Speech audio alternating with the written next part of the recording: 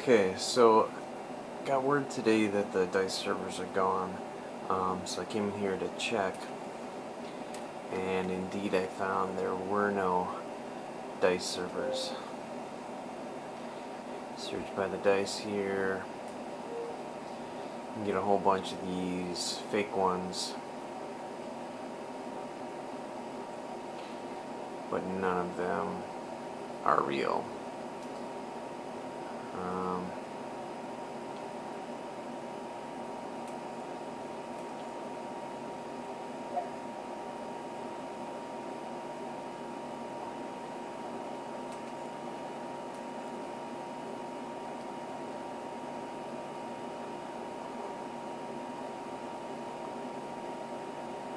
all fake.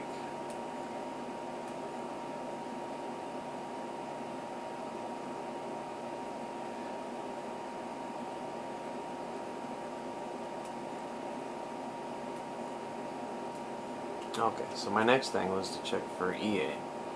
And I knew from playing Squad Rush um, that uh, when the last update came with all the new playlists for the DICE servers, um, that they had completely abandoned Squad Rush, but EA still had them.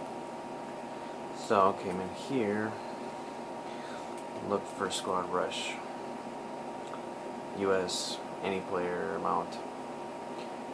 Show games running from official EA include wait if it's full. Came in here and P24.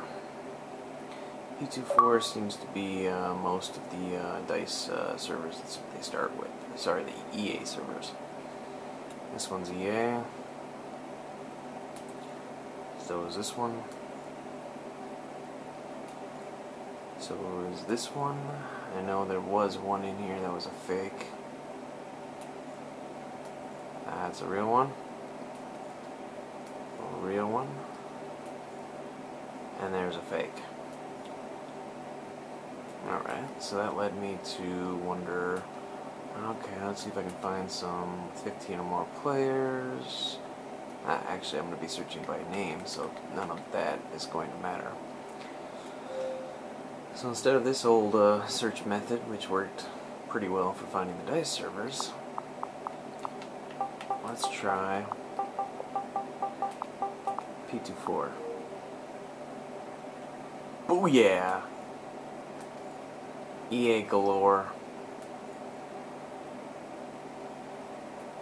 They do exist, and that is how to find them. Just please don't fake it. Pansies.